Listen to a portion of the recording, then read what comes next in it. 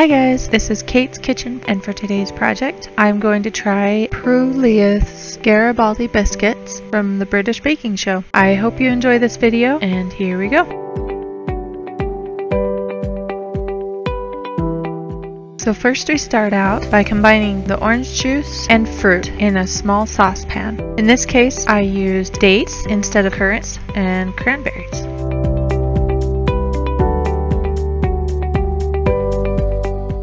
Bring these to a boil and simmer for 5 minutes.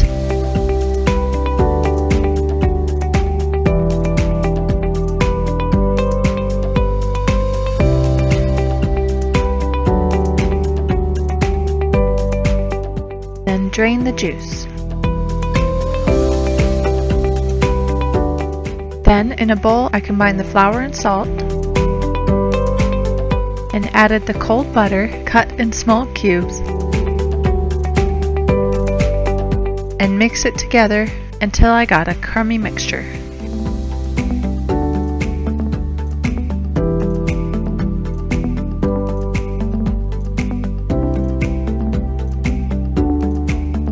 Then I mixed in the sugar, one egg yolk, and one tablespoon of cold water. I mixed these together until it formed a smooth ball.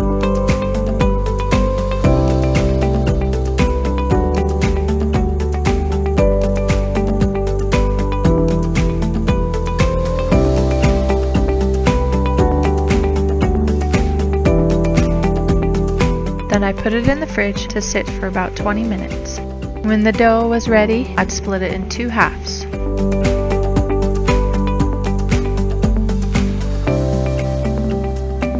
I rolled out each half into a rectangle about 6 by 8 inches.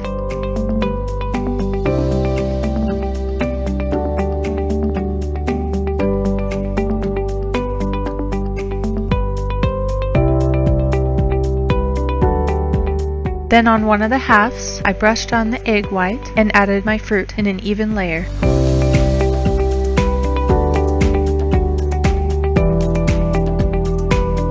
Then I placed the other half on top of the first and rolled it out a little more to about 8 by 10 inches.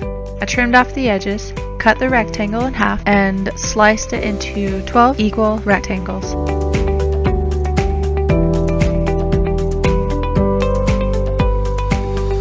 Transfer these to a pan lined with parchment paper. Brush them again with egg white. And baked them at 350 for about 12 to 15 minutes. Once they were a light golden brown, I removed the biscuits from the oven.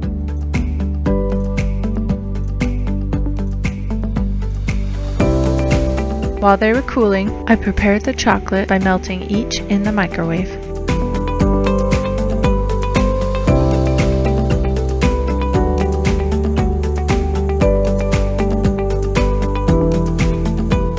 Transfer the white chocolate to a bag.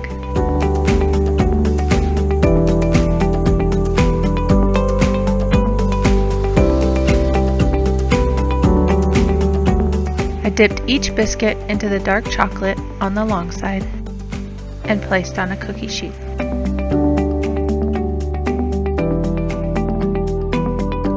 Then I cut a tiny hole in the corner of the bag of white chocolate and drew thin lines onto the dark chocolate.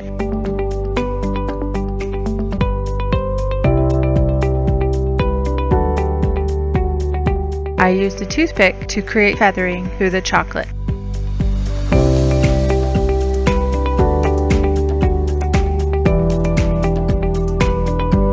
Then I let the biscuits cool in the fridge until the chocolate was hardened.